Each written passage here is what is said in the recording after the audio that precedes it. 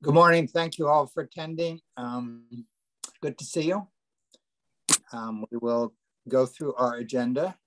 Um, first item is approval of the October 7th minutes. Hi, uh, Russell Barksdale, make a motion to approve. Second. All, all in favor? Here. Aye. Unanimous. Thank you so much, Alyssa, for another great job with the minutes. Um, next item, reports, Health Department, Jen. Jen Eielson, Director of Health. Um, okay, we'll start with COVID update. So our current vaccination numbers, ages 12 to 17, we're at 98.24%, 18 to 24, 100%, 25 to 44, 100%, 45 to 64, 88.89%, 65 and over, 100%. Uh, percent of total population with at least one dose. This includes all those that are currently not eligible. So total population, we're at 80.12%. Percent of total population fully vaccinated, we're at 72.9%. Total doses um, administered by the health department to date, 15,012 doses. Uh, today we have a booster clinic um, of Moderna and Pfizer. We have 350 registered. Bethany, thank you for helping out in Harrison today. Um, Our pleasure. um, on November 11th of next week, we're doing the, we start the youth campaign of the ages five to 11. We have a thousand kids registered. Registration is full for the public school clinic from three to eight. On November 10th, the day before, um, at the high school, we're going to do teacher booster clinic and set up for the next day and keep everything there to minimize the Thursday, you know, workload. On the 17th. And how are the teachers doing in terms of their degree of vaccination? Do we know? That not, it's in the 90s. Brian puts it in his Board of Ed reports. Thank you. Because under the um, governor's executive order, those that are not vaccinated have to submit to weekly testing, which Brian has to submit to the state as well.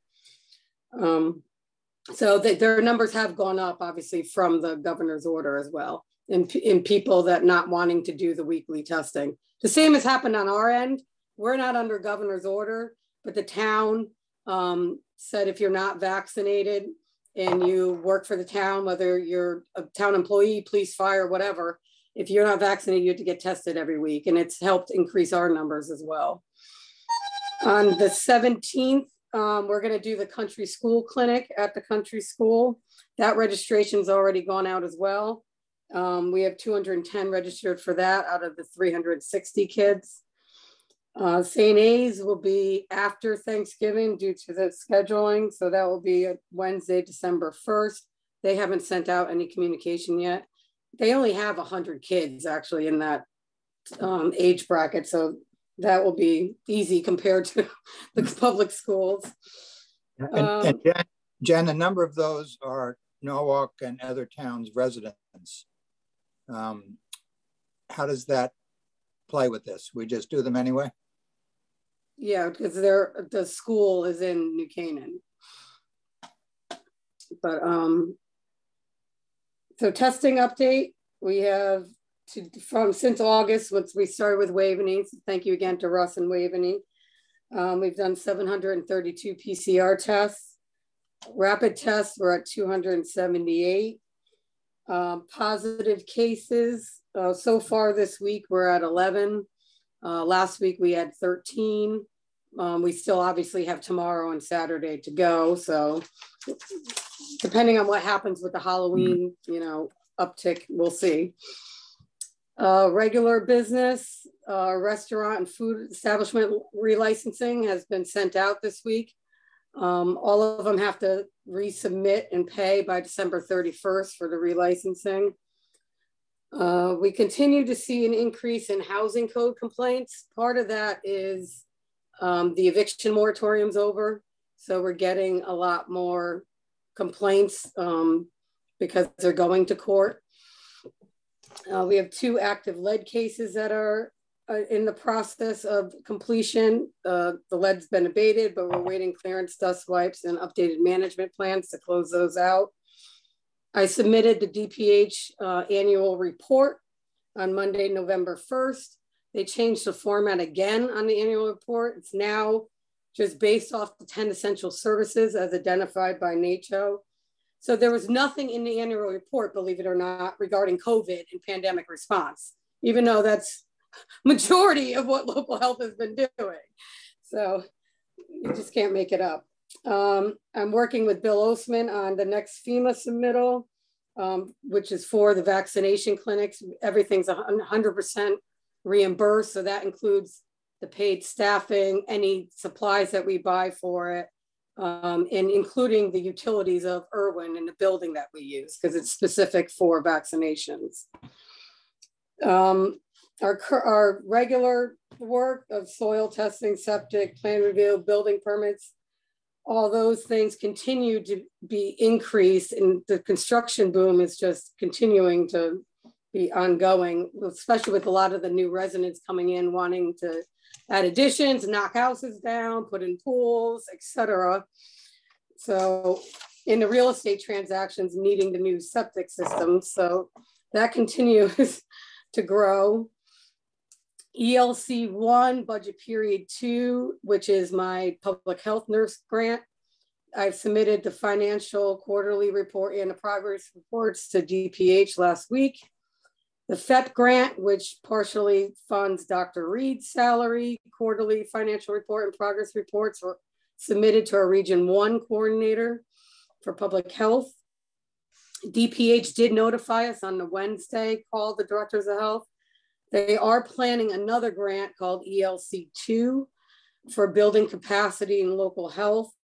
They sent a pre-application survey, which of course I immediately replied and sent back. Um, they do not know the amount of funding yet until they gauge how many health departments want to participate. The preliminary guidance is for, it's to be used for contact tracing, testing, and vaccinations and to utilize another new system they're coming up with called Core CT. Where current, currently we use CTEDSS in contact for all cases and case reporting.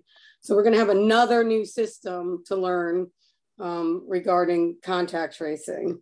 Jen, can I just interrupt for just a moment? I'm sorry. Uh, Harrison, I'm wondering if the uh, commissioners can have a discussion on whether to make a recommendation that some of these grants that Jen is having to reapply for every year, um, that we make a recommendation to the selectmen for permanent financing uh, for a couple of these these areas. Um, I think that given where we are in COVID and given the extensive uh, programs that we have for our residents here, um, and the revenue cycle that we have in the town, uh, that some of these positions, I think that we should uh, have a recommendation to to uh, the town for. Um, I mean, that would be fine, except the procedure with the finance board, et cetera, is to go over everything line item wise. And I'm not sure they would bump this two, three, five years out. Um, I don't know. Jen, do you have anything to say about that? Um, well, the budget guidance for this year, they haven't given us yet from the Board of Finance, but I do plan on making it clear to the Board of Finance and Town Council that, you know, these are grants, especially my, my nurse grant expires next year in the middle of a fiscal year, November, not even the middle, November of 2022. So these are things that I can't do without, you know.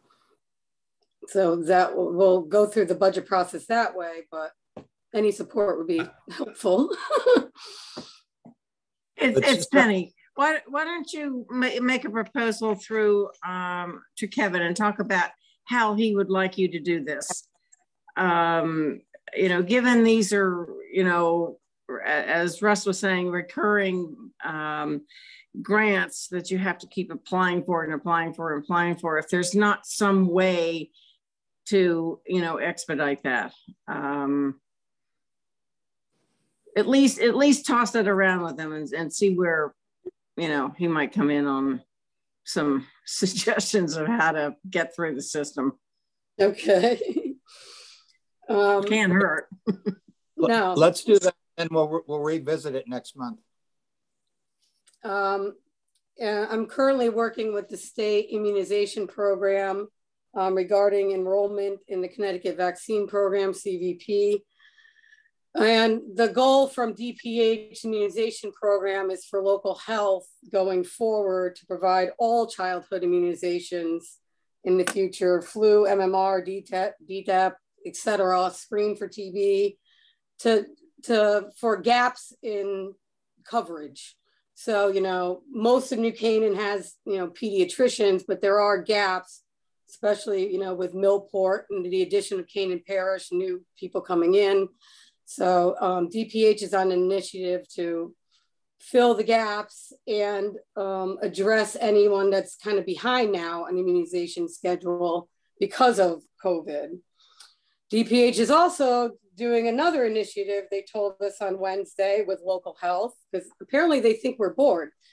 Um, through a new infection control program, I'm sure Russ, you know about this, involving nursing homes and assisted living centers where they would have DP, uh, local health conduct inspections of these facilities for in, in infection control measures um, through either our public health nurses or additional staffing that we would need.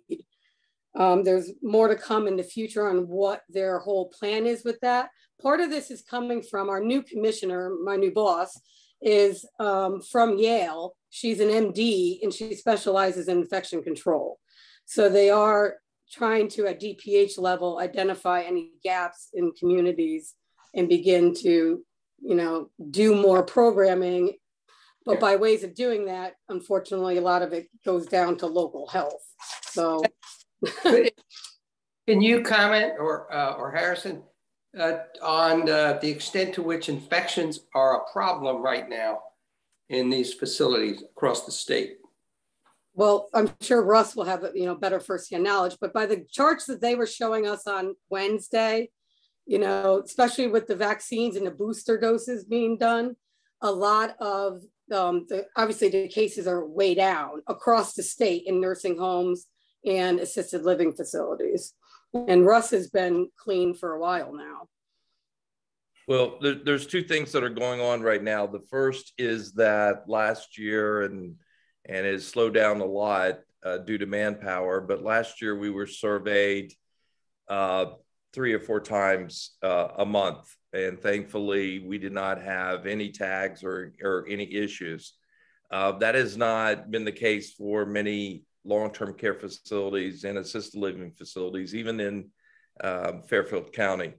The second, where I think we're getting in the squeeze and why I made the motion before uh, for staffing is that the state's uh, actual number of employees and number of nurses uh, have gone down and they cannot find the staff to go into these facilities and do the necessary surveys, especially those that are high risk or have shown a breakthrough or or cases. And we have had a couple, uh, again, in the county uh, of Fairfield that have not been uh, publicly uh, released yet. Thankfully, Waveny has not been one of those.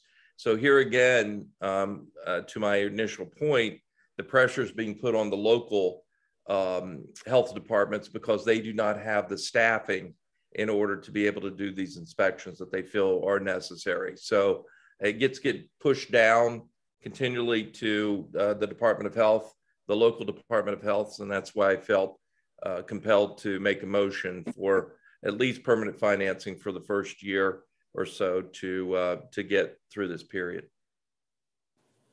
Well, and some of these initiatives, like this infection control, um, are permanent initiatives that DPH is trying to put in. So, and they're also try, trying to work on another program that um, about uh, telehealth and telemedicine with local health um, for uh, child and maternal health and other gaps. So again, more given to local health without, you know, the, and again, as a reminder, our town does not receive any per capita funding from the state. We have under 50,000 residents, so we receive zero other than these little grants that I get here and there. Where the cities and any town with over 50,000 residents gets per capita funding, meaning they get almost $2 per resident in addition to all this other stuff. So they, you know, I think the state forgets that some smaller towns in Canaan, Darien, Wilton don't get this other revenue stream and they're putting a lot of burden in addition to COVID on local health to do these initiatives. I mean, they're all great and they're all needed. It's just you need the bodies to be able to do it all. And, and that's my concern, Jen, like in terms of are they reaching, in your opinion, are they reaching toward regionalizing? I mean, is it? No, that, that's been dead in the water for a long time. Okay, good. Yeah, because because I mean, the, the health districts have shown in the pandemic, they actually had a worse response than local health. I mean, when you have a district like Torrington, you have 16 towns. How are you providing service to your towns? Yeah. You're not. You're not able to do what we do, where we're, you know, doing homebound vaccinations. We're, you know, doing testing every day. We're doing clinics. I mean, if yeah. you look around, there are not even a lot of health departments in the area doing booster clinics because they just can't. We're trying to do everything because our normal jobs are, are being overloaded with the septic and the building permits and all that kind of yeah. stuff. It's it's crazy. yeah. Jen, well, I have a question. Oh, sorry, go ahead. Yep. No, go ahead, Alicia. Um, is there a demand or are there plans to do additional vaccine clinics for the younger children that are now eligible? Or should people who didn't get an appointment in the first day go elsewhere? No, so once we get through this first phase of the big clinics, we will do what we did before, where we have mini clinics in our office every single day. So the, we set up, I have two substitute school nurses on top of my public health nurse that I have who come and then we do it after school or homebound so they can come after the fact. We do plan on continuing throughout for the weeks, months, whatever it takes. And I've already had some parents reach out to me that have um, children with special needs that, you know, that kind of environment is not the best thing for them to go where there's a thousand children. So I'm already making accommodations um, for them as well and plans because, you know, we don't want anybody to, you know, be in a setting that they're not comfortable with, but we, we do plan on doing that as well. So nobody needs to, you know, panic if they don't get into any of these clinics because also the pharmacies are going to be overwhelmed because they can only do X amount a day. And, you mm-hmm. know, we don't want to continue to disrupt schools either. So it's not like we can be in a school all day either.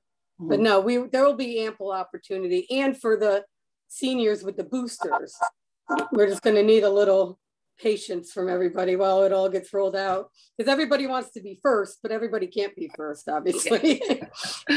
Very appreciated. I, I have a follow-up question too. Anecdotally i've been hearing more vaccine hesitancy among parents for this younger group of children. And i was wondering if you or, or dr pierce could speak to the safety of the vaccine and also specifically as to myocarditis um, what parents should look for if they have concerns um, you know to be obviously in talks with their pediatrician, but what to look for.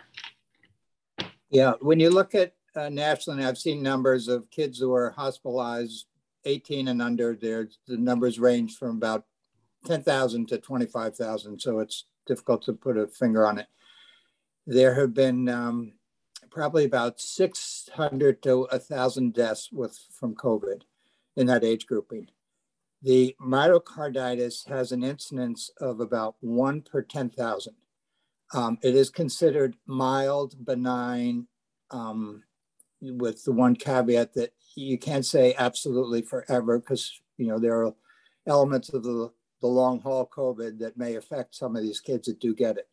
However, the, the safety of the vaccine relative to the disease itself is like all the other immunizations. You are much better off with than without. Um, so I think that's where we are, and that's um, you know, hopefully everyone will jump on. And even though there is the slight risk of that, uh, myocarditis, pericarditis, inflammation the heart muscle, and the surrounding tissue of the heart, it's you're much better off with than without. And um, it's a different formula. It's a pediatric formula. So you're getting a very, very small dose. It's only, you know, 0.1. And that's where too, people don't need to feel rushed and panicked that they need to like make this decision tomorrow. You know, we will have the opportunity. So they, you know, if they want to take a little longer to speak to their pediatrician or figure out their own family needs, they can. And then they can reach out to us later and we'll gladly vaccinate them in our office or at home or whatever. Jen, and with the thousand kids getting the vaccine next week, uh, when do they get their second vaccine? Is that will there be a follow up uh, clinic for them? Yep, Thursday, December second will be the public schools um, second dose, and when they come for their first dose, they'll get a vaccine card with the date, and you just basically the time you signed up for this time is the time next time. I mean, if a few have to change their times, that's not a big deal. We just don't need a thousand people changing their times at the same time. But we do plan on, you know, having you know the stickers the balloon the lollipops you know bracelets and Bryan Luizzi and i are planning a surprise so we do have things that we're working on to try to make it as less intimidating as humanly possible for a clinic yeah. we do know how to put on a party look i would just say you, you, you guys should be commendable commended on the level of vac- vaccination that we have for those that are under the age of 18. I think it's uh, extraordinary and and it just goes to show the the efforts that everyone has put into educating families. I think uh, to to Alyssa's point and to others, um, even when we were first going through the vaccinations uh, process, uh, hard to believe December of 2020 um, coming on the first year. We similarly being the first ones out of the out of the gate, so to speak. Uh, we had a lot of concerns from family members for their uh, for their seniors, for their parents to being vaccinated. So uh, do the research. I would just say to families, uh, I agree with Harrison. Uh, one in ten thousand is is uh, versus the long COVID that we we're seeing for some for some of the residents in, in our community. Um, I think it's uh, once they become educated uh, and the pediatricians feel comfortable. You got to remember, only about 95%, I think, of physicians have been fully vaccinated as well. So we have to continue to educate, make them feel comfortable with the, their decisions. And uh, I think we all should be commended, especially Jen and and Bethany and and everyone that works for the town on how what percentage that we've reached thus to date. So thanks to everyone. When I do think with the holidays coming up, there will be a little different element here that people will be a little more prone to because they want to have the multi-generational holidays. And you know, and if you look at our cases on the charts on the red box on the website, from May 31st, you know, till now, our number one age bracket in positive cases is the zero to nine year olds, believe it or not. I mean, so the data is there as well. Let the minutes reflect from last time that that that's what I had said. but this week, our, our highest cases oh, are oh, last month. Last month, I had said I had said that was the age group before it happened, and then you said no. You jinxed let, me. let the minutes reflect. I blame you, Russ. Whatever. As we know, COVID is still with us. The uh, Connecticut, I think it was Tuesday, there were 425 positives, and uh, you know it was a little disconcerting. Uh, Norwalk Hospital, as of last week, had four COVID patients, which is very different than the previous year. There were one was on a ventilator. They are mostly unvaccinated, um, but occasionally those, especially with comorbidities, age being one of them, um, were developed and, and fully vaccinated were being admitted with COVID symptoms. Um, locally, I mean, as a school, we talk about the youth. So school, as of so far this year, they've had 30 positives with about 80 quarantined this year. So that is the equivalent of about a week the year prior. So we're seeing clearly an improvement despite COVID still being with us. So it's going in the right direction. Sooner the better. You're telling me, Harrison. hey, don't forget, I'm giving those vaccines too. Yes, you are. Uh, You're my number one. Hey, good. Um, okay. How is the, uh, what's your impression on how it's being spread now? I know that the, the level of infection is relatively low in the area, but it's people are still catching it. And uh, most, uh, most of our cases, and they continue to be from traveling in large gatherings where they're they're with people they don't know. You don't know the vaccination status, and then and where we're seeing the little kids get it is they're actually getting it from their parents.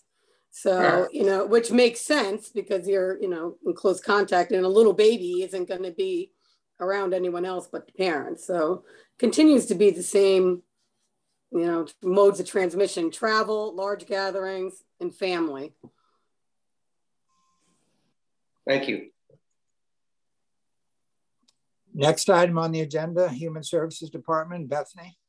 Okay, hi everybody. Uh, my report, I'll start with the food pantry. We've got the continued participation uh, with major food drives coming up. The police are doing a food drive. St. A's is doing their huge uh, Love Thy Neighbor food drive uh, and other wonderful smaller organizations that want to pitch in. So definitely our shelves will be filled for Christmas and the holidays. Um, holiday gift program for the kids, once again, uh, due to potential, due to continued COVID concerns and inventory of, of toys, we are going to do gift cards again.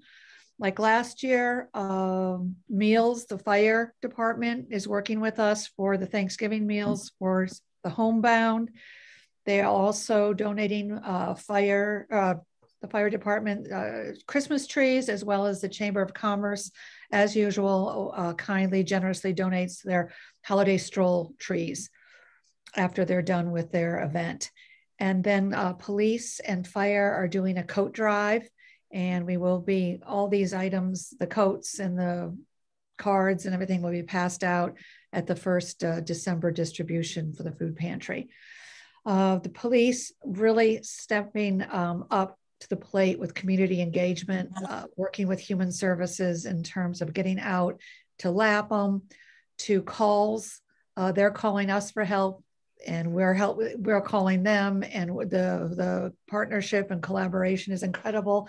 And I do think the ultimate goal of helping people that have uh, mental behavioral health issues um, as well as Silver Hill, uh, we're, we're working as a community and excellent, excellent community engagement for the sake of the resident. And grants. So the Get About is under the Human Services Department, and I attend their meetings each month. The, the have they've submitted to the town a potential request for a new van, which costs about $60,000.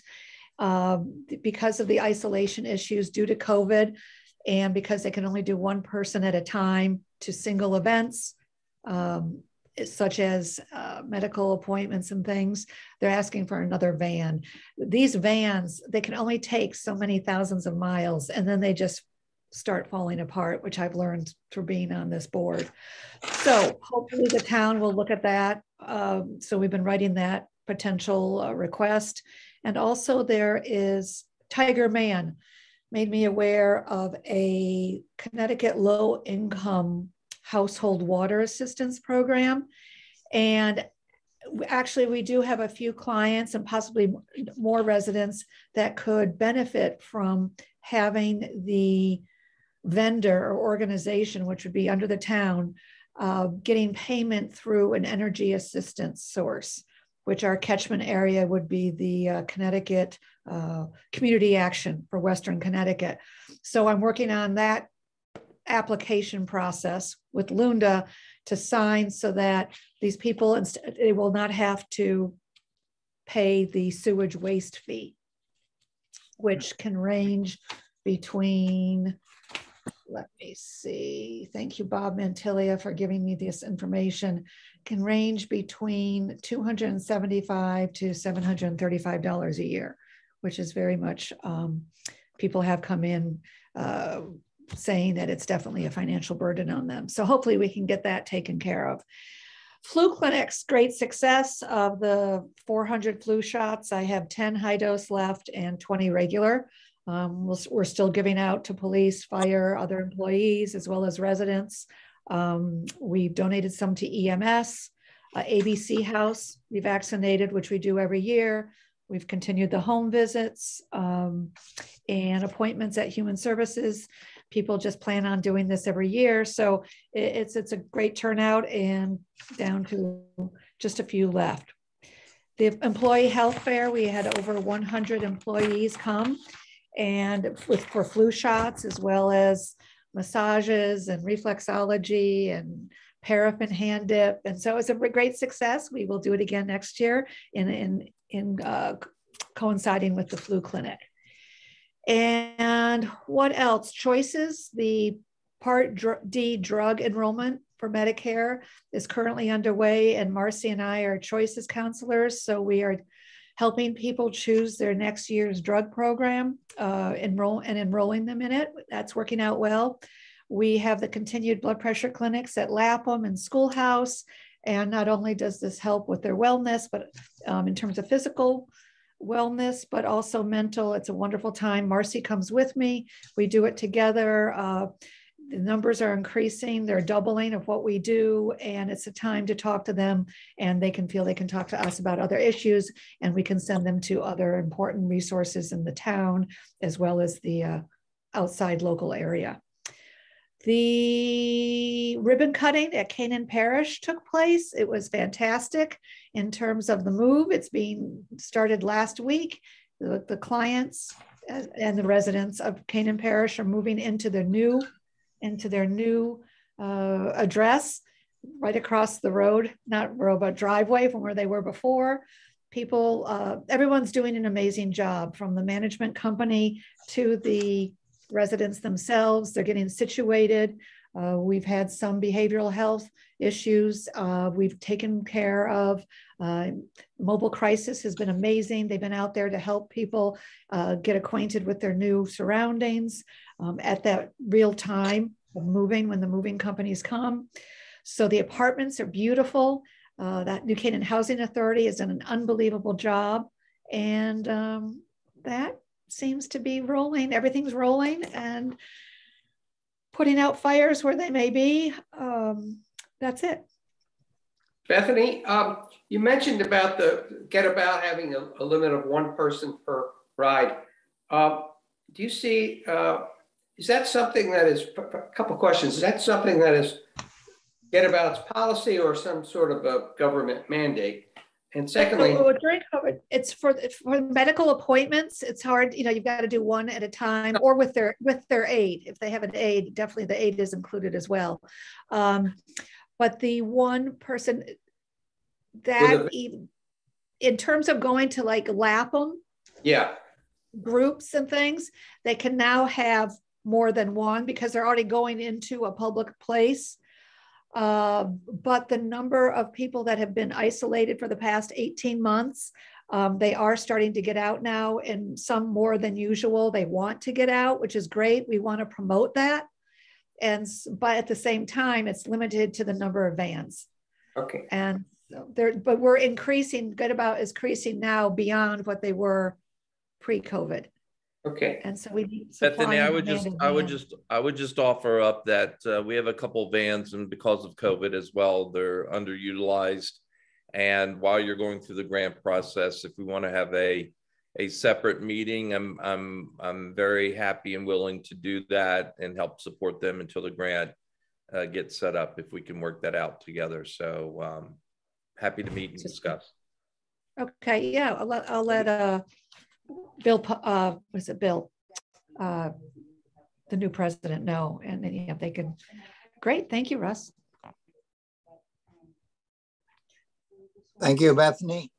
um, uh, Marcy Rand is meeting with Dr. Gerber, the president of uh, Silver Hill this morning. So she, do you have, did she leave anything for you to present, Bethany? Yeah, I do have um, Marcy's write up. She is, she's done, she's continues with the energy assistance applications. She's done over 20. Uh, she continues the visits to Lapham on Wednesdays and Thursdays. Um, she is doing a, a Life Reimagined group, and that has gone from under 10 to over 18 now and it's just about getting older she does it with a, another social worker who is uh, a resident here and um, in her 80s and a social you know, licensed social worker still so it's a wonderful combination the two of them are doing well and then she's uh, continues uh, attending the virtual rounds through the uh, norwalk hospital and uh, focusing on seniors, isolation issues. It's a wonderful meeting spot and learning more resources. Um, she has, continues the coffee with a cop this month. They are doing scams uh, at Lapham, so very relevant issues are being brought up. She's working very closely with the New Canaan Police and Mobile Crisis Unit for quite for a few residents that are have, having mental health health issues. And once again, I want to reiterate um, Andrew Gerber and his staff have been incredible. Uh, we work very well together, and the relationships are just you know getting stronger every day. She is. Uh, we worked very extensively on a, a resident with a resident who needed who was displaced by a fire in town. Red Cross came out, and that is all being uh, mitigated. That was wonderful working with Red Cross. Uh, she's currently working with multiple organizations uh, in terms of a very complicated conservatorship that is taking place right now. And uh, these are, this happens for very mentally ill residents. Um, so she has requested and received amazing help from Silver Hill. Uh, Dr. Gerber and uh, the two of them have made uh, he he has made himself immediately available to us and uh, obviously the town human services is very grateful what else uh, just everything is full and functioning and as she stated before the uh, situations and the cases that she's doing are getting very complicated but she is seeing them through to the resolution phase and um, just uh, grateful that she's there as well as jackie who will also give her report. And she's doing phenomenal things as well. Thank you, Bethany. Um, Jackie. Hi, everyone. I'm Jackie DeLuey. I'm the Youth and Family Services Coordinator. It's good to see everyone. Um, yes, so I um, wanted to follow up on my um, fuel assistance trickle in. I think what's been tricky is, um, you know, it's just families with school kids. It's it's hard, but the good thing about them is a lot of them don't heat with like oil. So the nice thing about doing those applications early is that you get a lot, like you get a basic benefit, a crisis benefit, some safety nets, which might help you throughout the whole season, which is great. But for my clients that heat with the Eversource natural gas um, or propane or something, that's a or Eversource electric. That's a one time lump sum of money that just goes directly to the vendor. So technically, they could apply in April and it would have no different benefit to them if they applied first thing in November. So I, I tend to, we'll have a probably a rush closer to the spring. I've done several that do heat with oil and and thus you know and they're getting good the, the money actually is more than it's been at the end of the year we'll know how much um, benefited our clients in town but um, it's great that they're you know the money actually has gone up so that's amazing. And i think um, income limits like those have gone up a little bit too so more people are qualifying. Um, so we always tell people to you know just apply anyway even if they got denied maybe next year it'll move those brackets up. Um, we've had about i'm working with three new families. One has been brought in through just moving into um, canaan parish new so it's a new family um, and then two of the other ones, um, you know, have lived in town and either, you know, money is they've run out, maybe employment issues. One's a, a single mom with two kids and just part-time employment. Um, so those are that's great, you know, that they've found their way to us. Um, so we'll be helping them. Hopefully, they're in early enough that we can maybe get them added to our holiday wish list um, to help those kids. Uh, Bethany had mentioned Christmas trees. We have 16 that we can give out. So 14 of those will go to families and two will go to older citizens, mainly because the older um, people, you know, they just don't want the mess in their home. Um, so we end up giving them more, more to families. Um, St. A's always asks us for a list every year that they can give out, um, you know, financial support to families in town in need. So I've been able to refer eight families for that. Um, and now we're sending an email out to our families about gift cards for the holiday, and we'll give them till next Friday um, to let us know what they're interested in. And that's been really great for them because then they can go out and get gifts for the kids. Um, so they actually like the gift cards. Um, tomorrow actually i'm we've had to put off the date a couple times due to weather but i'm doing a bullying awareness um, at Saxe at lunch uh, we're giving out bracelets that uh, go along with their charter of caring. So you know they're great. They say Saxe cares and the caring starts with me.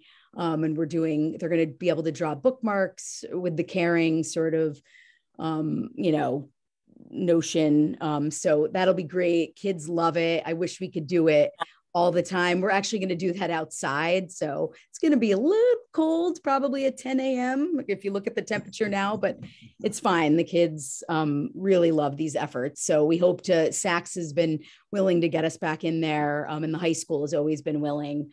Um, also, if anyone saw the pinwheels, I, I, we took them out on November 1st, but um, they were on library property and the library um, children's librarians told me they got so much interest and inquiries about what those pinwheels were for so i would love to do it there again if construction allows for that um, so that was great. That was such a hit to have. I thought they looked beautiful um, and actually just by coincidence there was a, a you know jennifer dulos heart just under that tree and that was no, we didn't plan that at all. That just is how it worked out. So it gave me goosebumps that day when we uh, when the kids and I saw that. Um, it was a seventh grade NCL group. Um, we um, I've continued to always work with. I don't know if I give her enough credit, but um, Lizette D'Amico is the ESL director for the district of New Canaan Public Schools. Like she's always available to support families um, you know that come in from another country and might need help you know with many many things. So we connect a lot. I feel like she is the one that pulled together the um, we did a, an event at millport for welcome back to school for east um, and that was back in like september and i had mentioned but she was really instrumental in that. I know that the hope would be using a community room at either canaan parish or millport at some point to have those kids that live there have some kind of after school program, which would be amazing for those families you know to not have the financial burden. Also we don't have enough space for after school. We use the y the daycare of new canaan. They've been limited with numbers due to covid or financially. Um, it's a lot of money to pay for that so if we could do that that would be great and i know the school would support that. And I think the library has been willing to um, come in and read or whatever the program. So that's going to be in the future, but I would love that to happen. Um, I've had some referrals. Obviously, they always come in for counseling, um, having to get creative with families because a lot of these therapists have, um, you know, caseloads, but we're always working on, you know, getting new referral sources. And then if anyone knows the RIGHT program, which is a reaching independence through employment out of family centers. I'm continuing to send folks there because I think a lot of them are coming to the end of any unemployment and really need to get back out there and work. Um, and those uh, caseworkers there have been great. They have they're working day in and day out in the employment, helping people find stuff. So they have resume writing and all these tips, might even have referral sources for jobs. Um, so that's a good one. And then last but not least, I met via Zoom the new um, Kids in Crisis um, Teen Talk counselor at the high school. His name is Greg Sloan. He was retired from the New Rochelle school system as a director of guidance and has had a lot of great, I mean, he's such an asset to our community.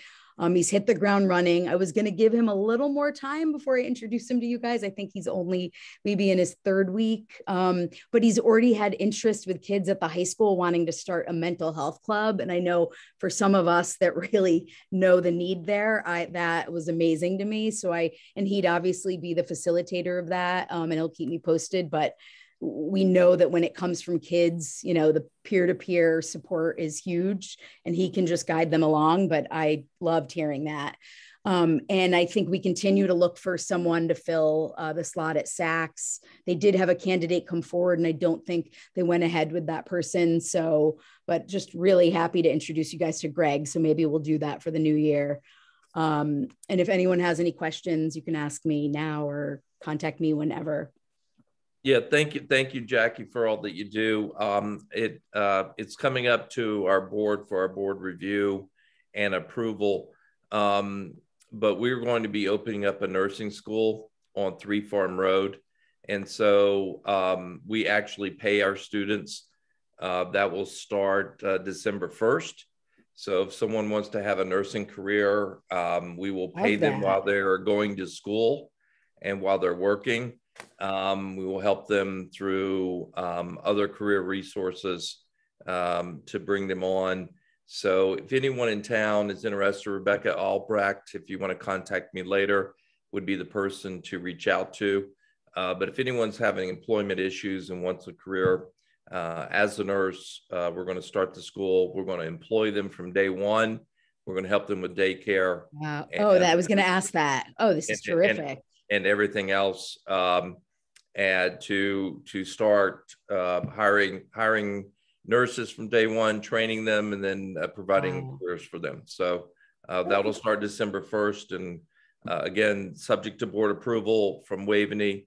Um, we're starting to take applicants now. So um, I'll just would Russ, would Rebecca, I'm sorry, just one question. Would Rebecca have like a little write up? Because I will actually send it to my clients that um, I have a lot that are like home health aides or, you know, and probably have thought I could never, you know, do something like that. So if I could, I've reached out to her before, I think for employment. So if I have her reach her, out to me, oh. you reach out to me and I'll make the connection. But uh, again, we're starting that employment uh, December 1st um, yeah. and taking on the first 12 students or if they've already are CNAs and home health aides and they want to become nurses, then we can work Great. with them to get oh, to the next it. level. Okay. Russ, this is Tom. A couple comments. Would you uh, describe the credential, the types of uh, nursing credentials that we're training for? Is it RNs, LPNs, or, or what? And second, I would suggest that once the program is approved and launched, that you give a little bit, you or somebody from Waveny give a more in-depth uh, review at a future commission meeting. So. Yeah, it is. It is all levels, Tom. It is uh, uh, certified nurses aides. It's home health aides. It's LPNs. It is RNs. It's BSNs. Uh, so they can come into any entry point. Um, the the lowest entry point is just having a GED and um, and uh, you know being fingerprinted and making sure there's no criminal history and uh, physical and and background. So we will hire you on day one and put you through the training program and pay you during that. And also, uh, you'll have a full time job with benefits starting out. So uh, if someone comes to us as an LPN, of course, they'll be able to work right away. And then we will pay for their education to get their, their RN degree. So it's a new program. Um, I'm sorry to be self promoting here, but as we talk about employment issues, uh, in our community, uh, we felt we needed to reach out and and uh, help that need. Jackie, you you mentioned had a question for Jackie. You mentioned about this program, uh, right? And uh, yes, and you, are you are, unfamiliar with it?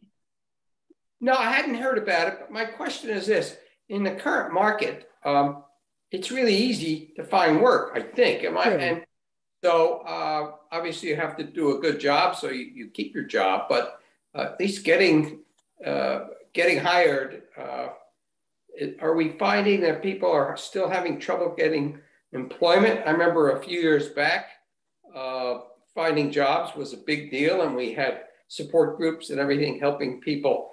But in this uh, world that we're in now, I would think it would be easy and, and, and that program should be quite successful in helping place people. Uh, what are you seeing?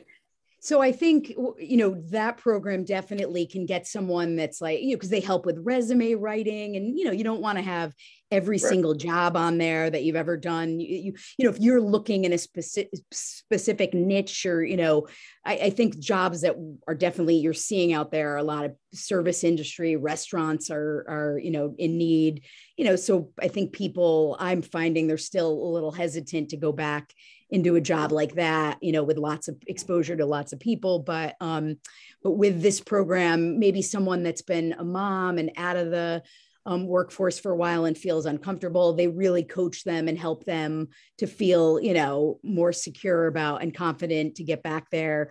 Um, but again, any host of re- reasons um, they can contact this. It's just such a great resource that Family Centers provides. I mean, it's always been a referral source of mine. Um, and I've heard, oh, always hear, wow, I didn't know that.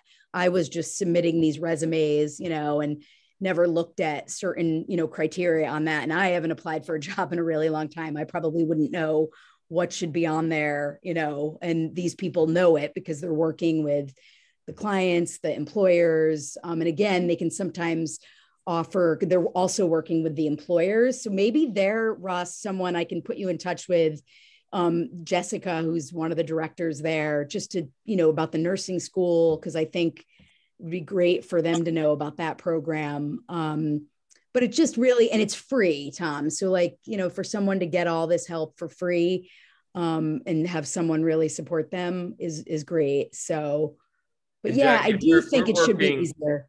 You know, thanks to thanks to Jim Lisher and all of his efforts, uh, we're working with Career Resources, which okay. is a statewide statewide program, awesome. and they also have free programs on developing life skills uh, life skill training um, and all of those things as well. So I think this is a great time for our community, you know, to collaborate with some of these these services. And uh, as Tom um, indicated, uh, you really shouldn't. If someone need, wants a job, they should be able to find a job in our community, and and we should be able to help them do that.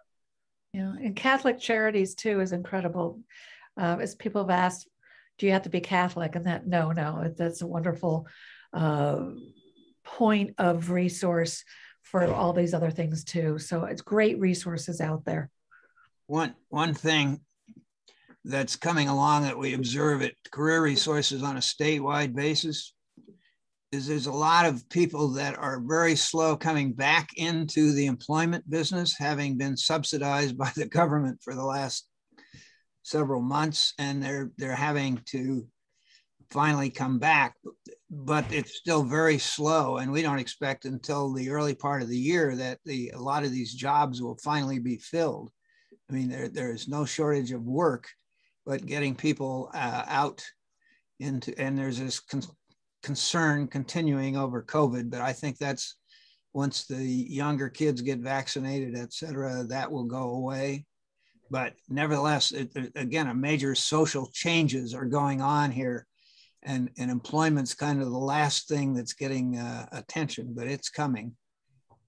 And, and Jackie, I would just say, you know, in healthcare, which is a twenty four seven business, if someone can only work weekends or someone can only work evenings because of whatever their situations are, that's that's what we want to do. And I think Jim is alluding to. We want to be able to assist them in whatever shifts that they can work and however they can fit that within their own lifestyle uh, that we're able to to afford them the ability to do that.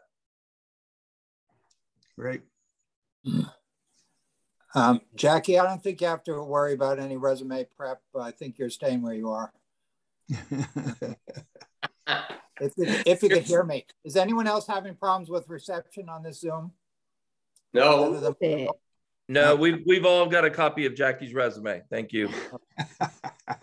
okay, sounds good. Um, and Russ, kudos to you for kickstarting this nursing education program. Hope it's successful. Thank um, you. So we will segue into um, old business, kids in crisis. Jackie did address that. Um, the feedback I've gotten from the high school is very positive with Greg Sloan. I did uh, have contacted to um, Kids in Crisis, Sherry, who's their administrator, to get a an appropriate CV to present to you, but have not gotten a response. There's also been no word on any connection with or, or success in finding someone for Saxe. Do you know anything about that, Jackie? Yeah, I had said there was a candidate that they had interviewed, maybe uh, maybe you're not hearing and me. they didn't go forward with that person. Um, yeah. and but I don't know if people trickle in all the time. I would imagine they have people. I just I've just looked at my emails, um, multitasking here, and Sherry from Kids in Crisis said they do have an interview for a middle school uh, okay teen talk counselor, hoping next week. I mean. So maybe we'll, you know, there's movement forward. Okay. Sounds good.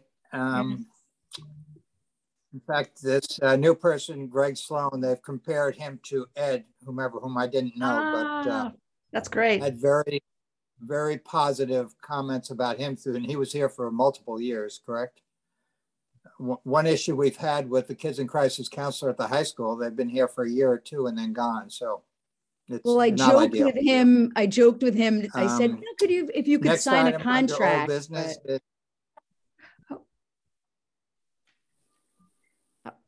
Can you guys? How are you not hearing me? I'm on Marcy's expensive computer. I don't know what's going on. Wait, I hear you fine. Oh, you yeah. hear me? It's yeah. it's it's Dr. Harrison. oh, I'm sorry for once it's not me um, you know but i was i joked with greg about signing a contract but he's you know he's retired and he said he's got a son in middle school that's got eight more years so he's not looking to go anywhere? So if he could get us eight years that would be really really oh, great. God, yeah. So hopeful hopeful. He's great though. He really is. Is he full-time at new canaan yes. high? Yes, yes. thank you. You're welcome. Jackie, is his son a student in the system here in New Canaan? I'm sorry, say that again. Uh-oh. Is his son a student here in New Canaan? No, he's from like Irvington or like Westchester. Like so, and he had worked for New Rochelle. Interestingly enough, very different school, you know, different school system, different problems. I think he said there was a student death when he was there, you know, like I think there was a student murdered another student. So obviously a very different community, but um, you know, the needs and the issues, you know, the kids still need the same thing. So he was, int- you know, he likes the challenge of, and he's been, there's been a very warm rece- reception. I've heard great things from counselors. He's followed up with them immediately after working with kids. He's getting a lot of referrals. So, but the mental health group would be, I mean, phenomenal. And that really needs to be, I think, student driven. So, I that would be just huge. And he's got a like I said, he was the director of guidance for the new you know new rochelle school system but he didn't love the administration. He likes the direct service with the kids. So right. he's where he needs to be. So we got to keep him. Sounds good. Um, next item is the american rescue plan act. Kevin is not on this morning correct? I don't see him harrison. No. Um, so he he proposed because of the American Rescue Plan Act that the town had uh, six million dollars. I don't know if he mentioned that big number, but uh, and two hundred fifty thousand of it he wanted to distribute through Health and Human Services, and had mentioned doing something with Silver Hill. Had spoken to Dr. Gerber about it. Um, so that was introduced at the last meeting. Um, Bethany and I, and I have tossed it around about what's the best way to handle this? And if we did something with Silver Hill, would we make it, would it be need based? Um, should it be Silver Hill as opposed to Norwalk or Stamford or Greenwich or Yale or whatever? Um, we, we did have questions about all these things. Um, and if it is, and as we've mentioned, 250,000 can go away very quickly um, just due to insurance coverage or lack of it for a lot of psychiatric conditions, especially if there's inpatient and even ongoing outpatient, is uh, becomes problematic. So, um, open to suggestion. Um, I think we did mention, you know, we were looking for funding for these, the guidance counselors at, uh, through kids, both for New Canaan High School and Saxe, and we were able to come up with some funding. And perhaps this money should be used for that to keep it going for the next couple of years at both schools. That would take care of the 250,000.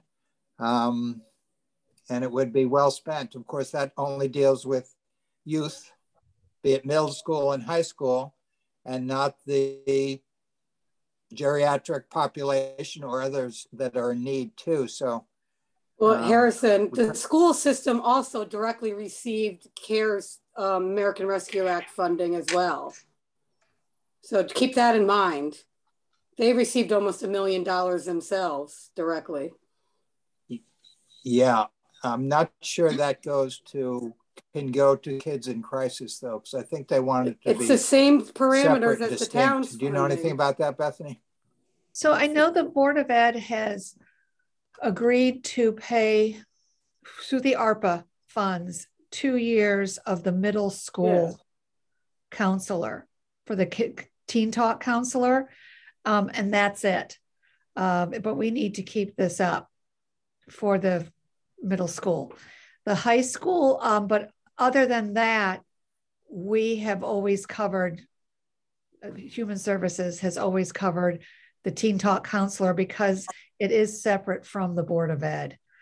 Um, thank goodness for these ARPA funds, and they decided to do that because they felt it was needed as well. But after that, um, yeah, it, it, it's coming from the same pot, but the Board of Ed will probably use it differently I mean, they will not continue covering kids in crisis. They have their own counselors. Harrison, I, I, um, we Waveny had filed uh, an ARPA grant for telehealth, which included uh, telepsychiatry and other things. So I have to recuse myself from the discussion uh, regarding the funding of ARPA. So excuse me for that. Um, however, I would say some of these uh, programs I still feel strongly about. I understand going back to Kevin.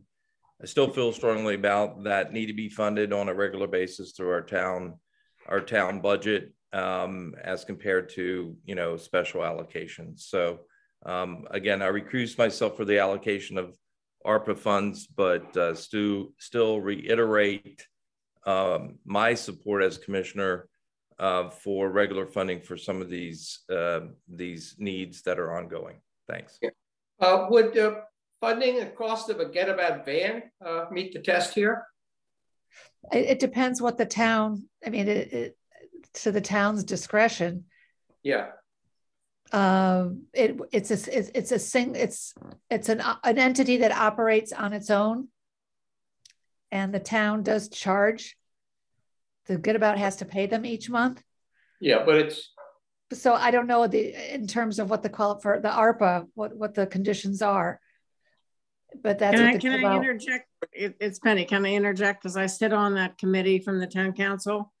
Uh, and I suggest that you get in touch with Mark Jimsky, who's uh, overseeing um, that committee.